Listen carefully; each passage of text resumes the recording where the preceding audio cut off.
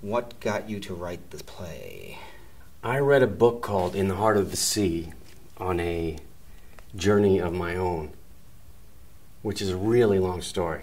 But I'll just say Just that I was sailing a boat, the highlights. I was sailing a boat on the ocean that was 16 feet long.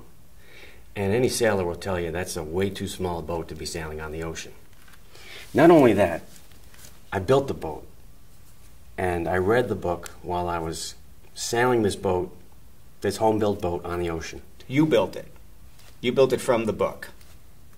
What book? The book that you bought on how to build boats? Yes, sir. Don't give me a book. You know what happens when I get a book? I get inspired and I build a boat, or I get inspired and I write a play. So don't give me a book. It just came to me right away. I wrote across the pages of the book, It is my destiny to write a play about this. And I figured sea chanties would be cool. And I just pictured my first image was a bunch of sailors coming on stage and putting a ship together before our eyes on stage.